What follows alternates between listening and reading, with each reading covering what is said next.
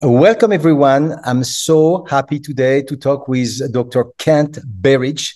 He is a professor of psychology and neuroscience at the University of Michigan.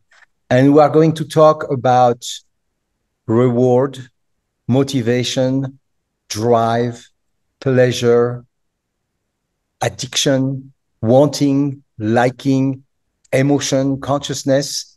And I think it's going to be a wonderful uh, interview. Welcome, Kent. How are you doing today? Great, Bruno. Thank you. Thanks for having me. Glad to join you. Perfect. Thank you.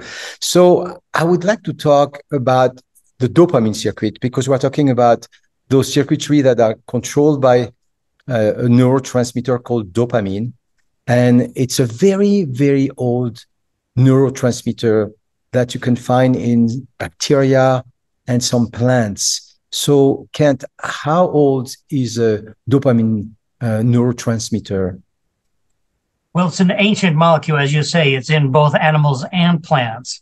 And for that to be the case, if it's descended from a common ancestor, it would have to go back billions of years, anywhere from one to two to three billion years to find a common ancestor that would give rise to mammals and plants. Alternatively, it could have resulted in separate paths, you know, separately, independently in plants and animals through convergent evolution, operating on each of them, kind of pushing it. Um, I don't think we know the answer to that, but I probably would, plan A would be that it's it's a homologous molecule descended from so the common ancestor. It means it would have appeared before the beginning of the central nervous system, which is about maybe five, six hundred million years old. So we'd have a function before any anything to do with the nervous system. Absolutely. It's a signaling molecule. I think that's the way to think of it. And there's a number of ancient signaling molecules that are used in many different ways, even within us, used still in many different ways. So as you emailed to me, you know, dopamine is present in our kidneys and in our gut and in the heart. And it does signaling things in each of those things. In the kidney, oh, yeah. it helps to promote sodium excretion and water excretion to some extent. Um, in the heart, it alters reactivity and activity of the heart and vasodilation as a constriction um, of the heart. And in the gut, it's sort of modulating digestive functions. All of that is separate from what it does in the brain. So basically, it can be used as a signal. And in those local places, it's secreted by a cell right next to the cell it's trying to signal to. So it's local paracrine signals. That's why it's so complicated to understand.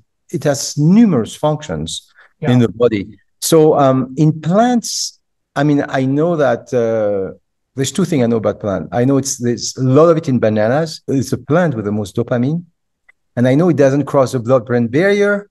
So if you really want to have dopamine, you better eat fava beans because you have L-DOPA, which is a precursor, and this one's going to be absorbed and, and you can use it. I, I, I have heard even improve uh, motor function in Parkinson disease to eat fava beans, even especially the, the, beans and even the, the pod outside.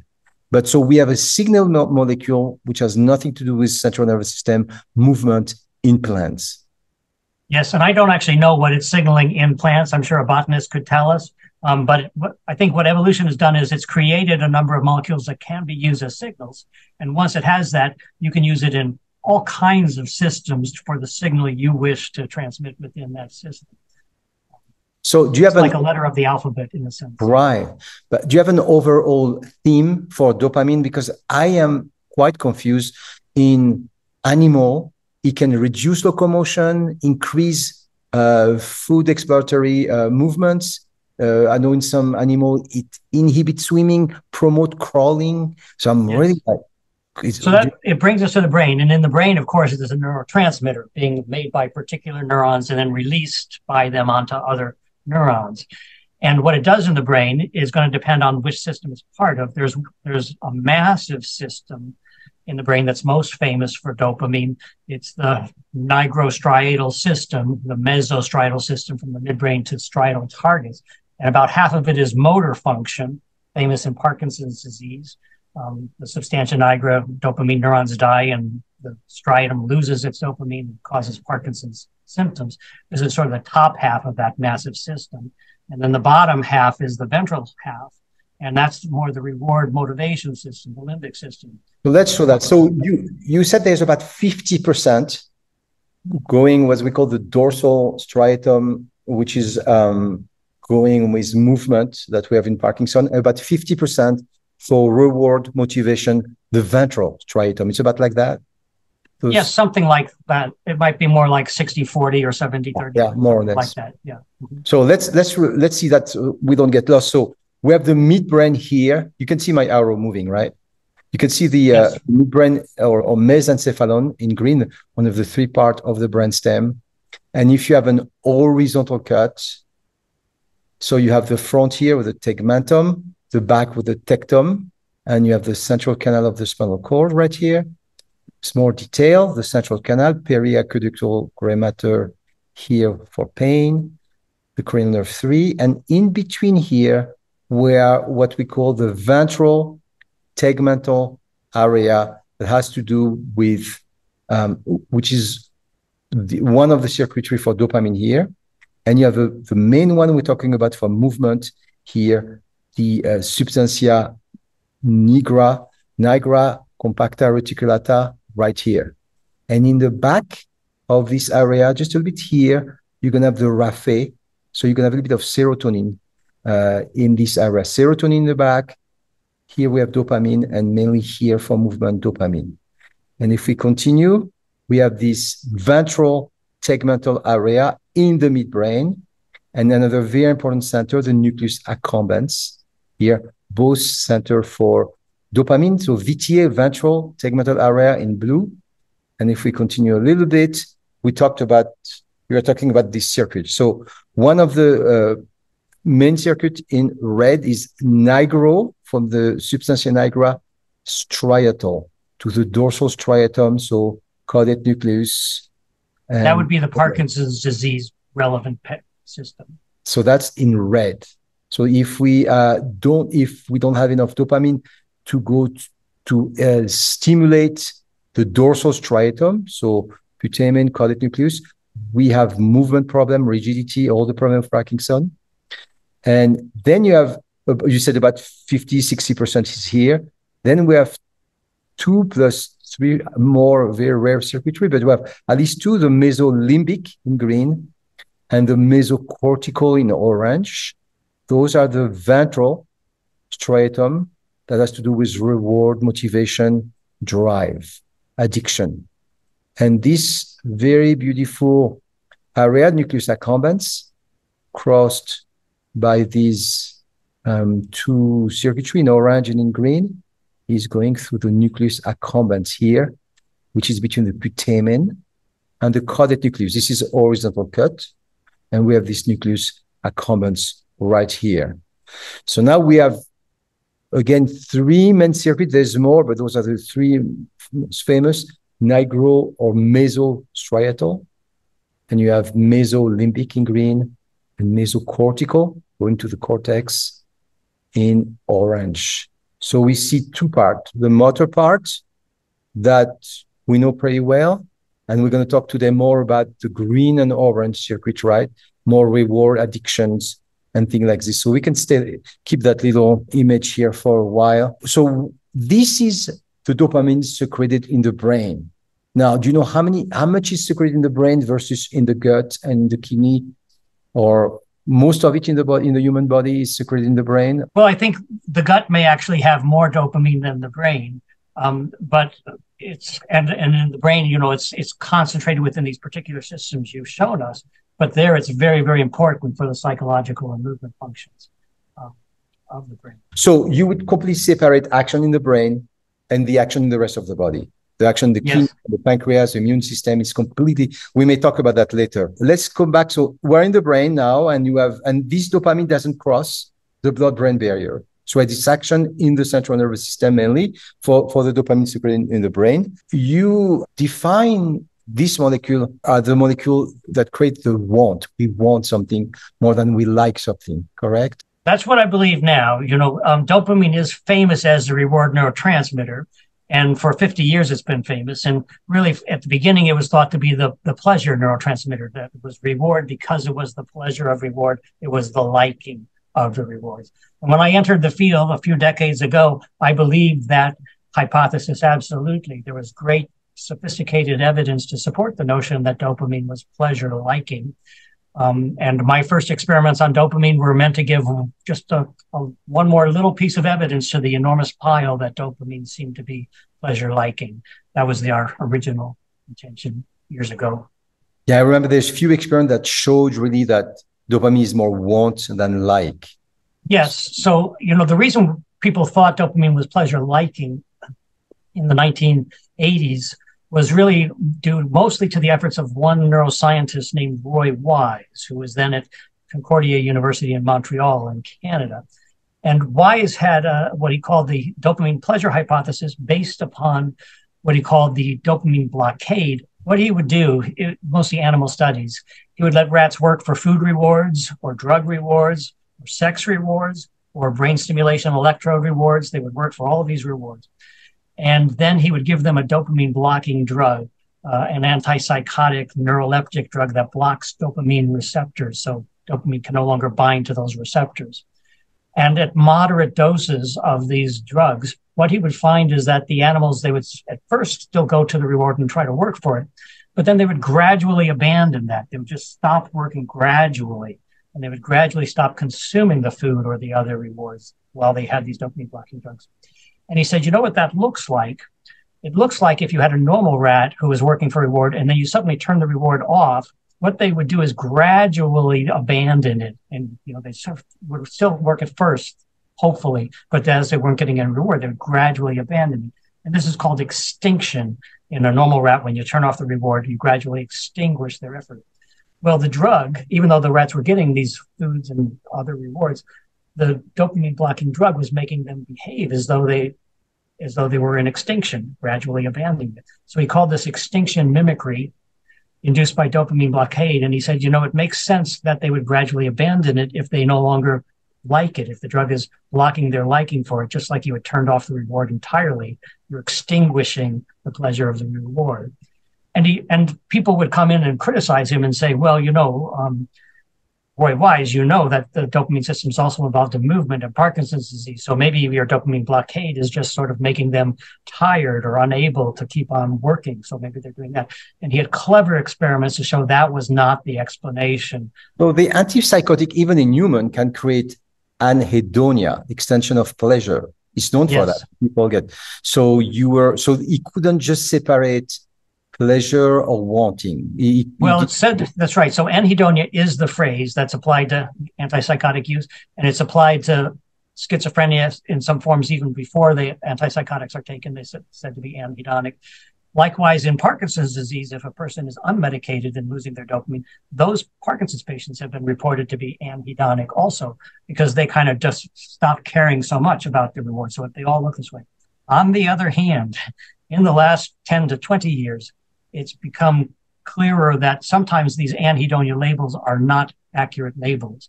That the patient, the Parkinson's patient, for example, if you give them different flavored ice creams and ask them to rate the pleasure, they'll give absolutely normal pleasure ratings.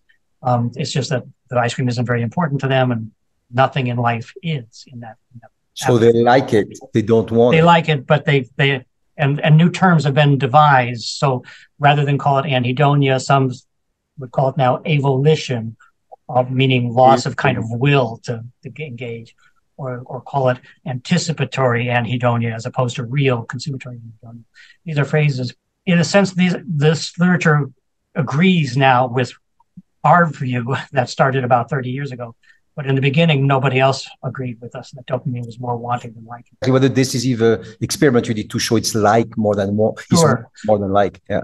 Well, the first experiment was actually with Roy Wise, a collaboration. He sent a graduate student here to Ann Arbor in Michigan from Concordia Montreal, from Montreal in Canada, to combine and do an experiment in my lab. One that was to give dopamine blocking drugs and to look at pleasure liking in a slightly different way, not the his usual way where they're working for the rewards or just consuming the rewards, measuring just work and consumption, but rather we were looking at taste liking, food liking, using a different measure for examining brain mechanisms of pleasure. It's a measure more like the one that human parents have used for thousands of years to ask their newborn baby infants, do you like the taste of foods we eat? By sort of giving them just a little taste yeah. in their mouth and seeing what they do. Do, they kind of smile? or do they go like that and, and spit it out? Human infants do, you know, to sweetness, they like it and they smile and lick their lips. To bitterness, they would gape and shake their heads and shake their arms. If you gave it to a chimpanzee, you get similar reactions, sweetness versus bitterness. And if you give it to a rat, you also get similar reactions of they don't have quite the same musculature, but they can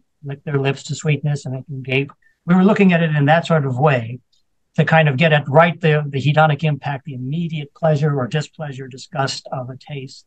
And we expected that if we gave dopamine blocking drugs, it would reduce the liking, positive liking reactions that sweetness elicited, maybe abolish them. So they'd be more like it was just water, not sweet. Maybe even make it a little disgusting. So maybe they would gape a little.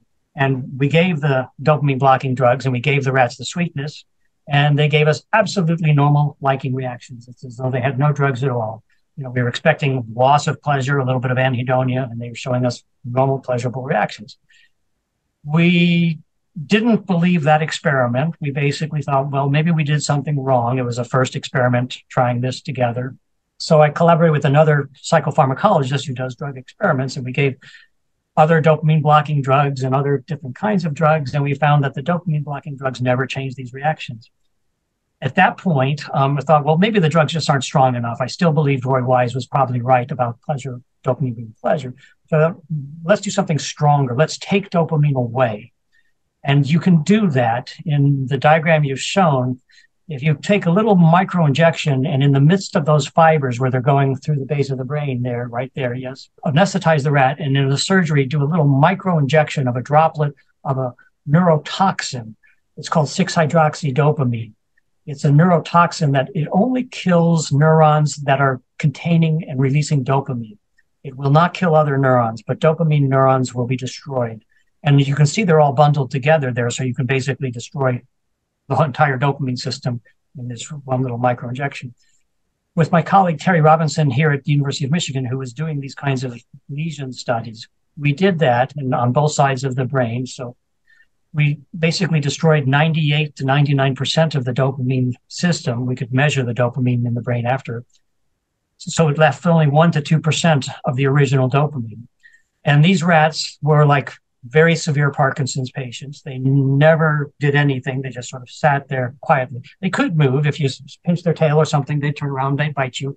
Um, they could take a few steps, but then they'd stop. They would lapse into this apathy.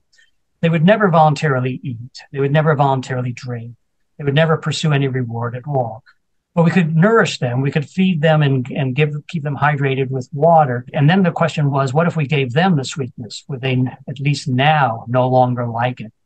And the answer was they liked it perfectly well, absolutely like normal rats. There was no reduction, let alone abolition of this liking reactions. Absolutely normal. And we thought, well, let's try some other things. Could they learn new likes and learn dislikes? And the answer was yes, they could learn new likes and new dislikes. They have normal learning about rewards. They had normal reward liking and disliking. If we gave them bitterness, they would show disgust. If we gave them a sweet taste and say, let's, let's induce a, a learned aversion to this taste. If we gave that sugar t- sweet taste to the rats, they would show gapes and as though it were bitter. And even without dopamine, the rats would learn this perfectly well. So they were competent in all kinds of reward learning and liking and disliking ways. They just didn't want anything. And that was the beginning of the notion that, well, maybe dopamine is more about wanting rewards that are liked than it is about the liking, generating the liking for those rewards themselves.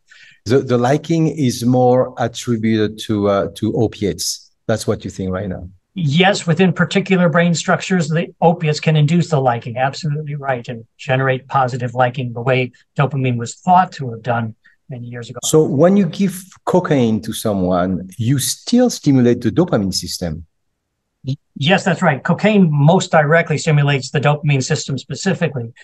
Morphine does something slightly different. Morphine is an opiate and it does not directly activate the dopamine neurons. Morphine does release dopamine. It just does it indirectly by acting on a earlier neuron. Right. So in those, in the case of opiates, you have a want and a like at the same time because it does release dopamine. Yes. So opioids they induce intense pleasure and maybe wanting to take more opioids. That's very true. cocaine also induces pleasure and wanting to take more more cocaine. Why does cocaine do it if dopamine is not the pleasure molecule? Maybe that's the question in, in your mind. And there may be two kinds of answers. One is the pleasure of cocaine and, op- and opiates can be a little different from each other. Um, cocaine is sort of stimulating and euphoric, and it makes the world attractive and people in the world attractive, and the world is inviting, and you go out. This kind of incentive salience like property that makes the world attractive and engaging, that's very much a dopamine thing. That kind of part of euphoria is a dopamine thing. The intense pleasure of an opiate is not quite that.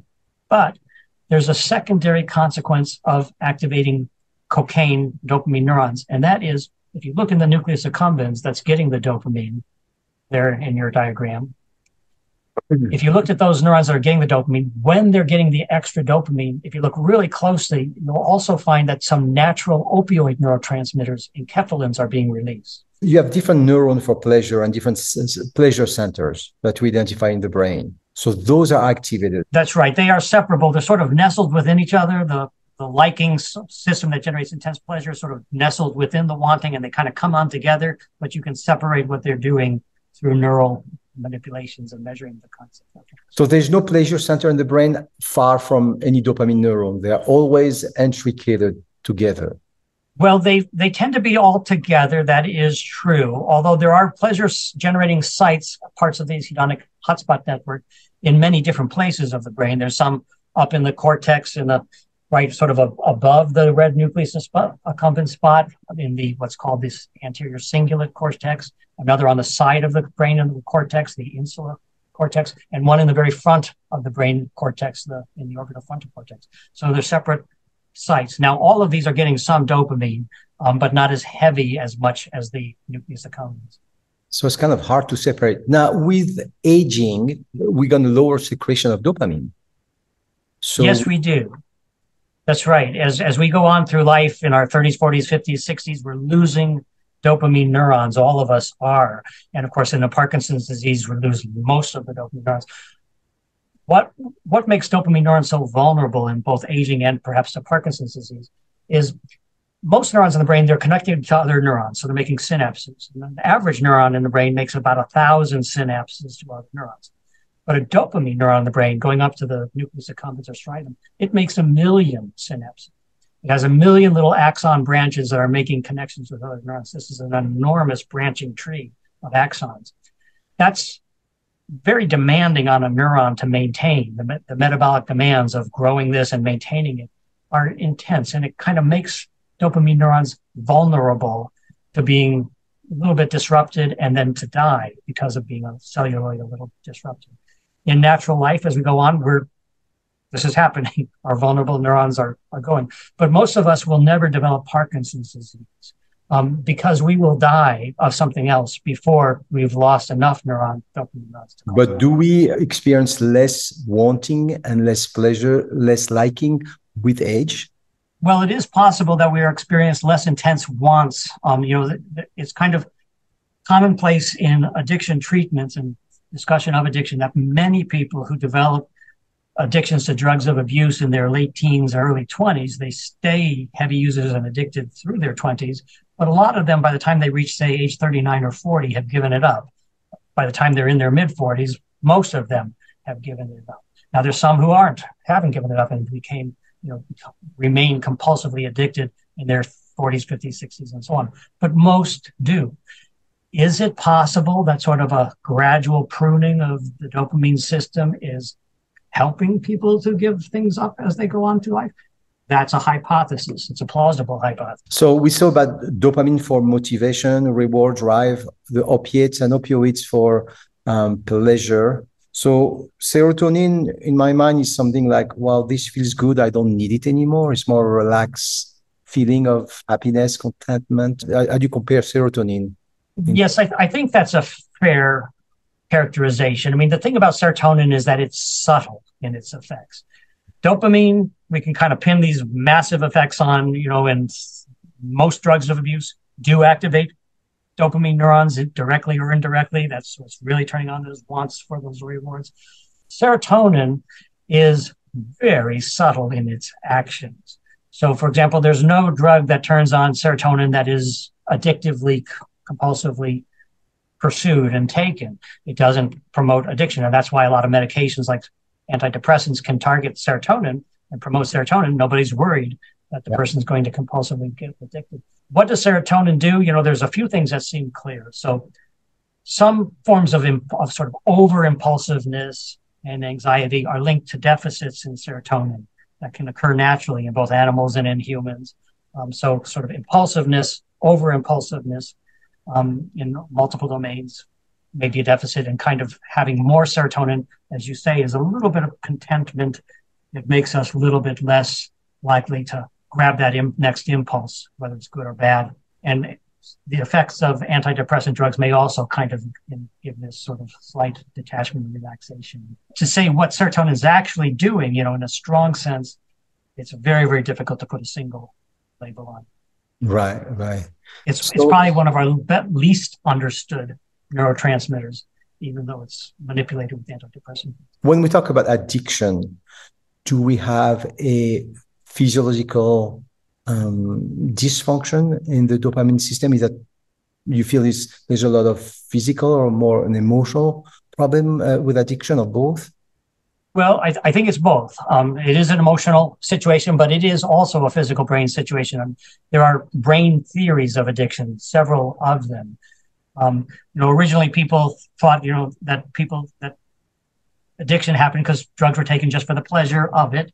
And then it became clear that a lot of drugs are producing strong withdrawal symptoms. In the 1970s and 80s, the main addiction theories, and 90s even, were sort of focused on withdrawal. Uh, if you if you take a drug again and again, every time you take it, it releases dopamine. If you keep on over you know, taking it continuously, you're spritzing these accumbens neurons and striatal neurons with extra dopamine all the time, and they begin to downregulate their res- their receptors for dopamine. They're trying to sort of suppress this overstimulating signal. So you actually lose some of the dopamine receptors. D2 dopamine receptors are most famous for this. Um, people like Nora Volkow at the at the National Institute of Drug Abuse would give do PET studies on addicts, and she would find that if she gave them a radioactive drug that would bind to their dopamine receptors, she got less binding in people who were addicted to cocaine or heroin and other than in other people. And what she what that she thought that meant was that they had lost some of their dopamine receptors, um, so the drug couldn't bind to them anymore. They had lost right. it. Now, what does it mean? What is it? What's it causing if you lose some dopamine receptors? Well, those were the days when the dopamine pleasure hypothesis was in ascendance, and so the interpretation usually was that part of people who had lost their had had downregulation of dopamine receptors had lost pleasure. So the story was maybe they had a reward deficiency, food, social interactions, career rewards. They were not all that pleasant to them in this reward deficiency. Maybe drugs were the only thing that they could find pleasure in, so they're pursuing the drug. There are a couple of worries about that kind of a theory. Um, one is, what if dopamine's not the pleasure mechanism after all? Then it doesn't quite make sense that uh, loss of dopamine is going to reduce the pleasure. The other is, it is true that you can downregulate the dopamine receptors, um, but it's it's there's evidence to suggest that that's really more of a consequence of the extra dopamine stimulation than the cause of the addiction. It's really a consequence, and it may be sort of a partial compensation for the overstimulation. The neurons are downregulating in order to reduce this bombardment of the extra s- signal that they're getting. And they are reducing it somewhat, but they're not reducing it as much as the extra signal coming through. So they may still be overstimulated, getting a strong dopamine signal. There are other brain theories of addiction that have come along, come along, and one of them is actually came from Michigan with my colleague here, Terry Robinson. It's the incentive sensitization, and it suggests that well, dopamine is really mediating more the wanting than the liking. And it turns out that if you take drugs of abuse again and again, there's two things that actually happen. One is this downregulation of receptors that produces tolerance to the drug. So you can take a bigger dose and get a not as strong an effect because you're losing some receptors for it. And the, the downregulation also contributes to withdrawal if you stop taking the drug because you have few dopamine receptors and you have been getting bombarded, but now you stop taking the drug. All you have is normal, natural dopamine, yet you have fewer receptors. So you've got a reduced signal. and that can contribute to withdrawal symptoms. But all of that goes away within weeks or months if you can wait and not take the drug again. Most of the withdrawal symptoms go away. Um, the tolerance kind of fades as well. So, so all of that is this one thing. But there's a second thing that can also happen in some individuals who are taking drugs of abuse in the same neurons, the same dopamine neurons and the neurons that are receiving dopamine. And this is called neural sensitization, mesolimbic sensitization of the dopamine system. And it's it doesn't happen in everyone. Some individuals are vulnerable to this, but others are more resistant. At street doses of addictive drugs, some individuals sensitize. What will happen if they sensitize is the dopamine neurons start to release even more dopamine to the same dose of drug as it did originally. So you're actually, if you're measuring dopamine release in the in the nucleus accumbens, you see the same dose gets a bigger dopamine release. So sensitization, what would this do psychologically? If dopamine is mediating the wanting of things, then someone who's having this sensitized hyperdopamine reaction to drug cues is going to experience a sort of hyper want, excessively strong want that other people who are taking the same drug recreationally, but who aren't sensitized, they, they may want the drug, but this person really wants that drug in a way, eh, kind of parallel that maybe all of us could identify with is we all want food when we're hungry. That's something we all share. We want and like food when we're hungry. But what if we were starved for weeks and weeks and weeks and months and really lost weight? Somebody who's in a starvation condition, that person, if food comes into the room, is going to be so attention riveted. That person wants food to a degree that most of us never have that intensity. And if sensitization is doing the same thing to addiction, it may be that an addict has that kind of an intense want like a starving person would have for food.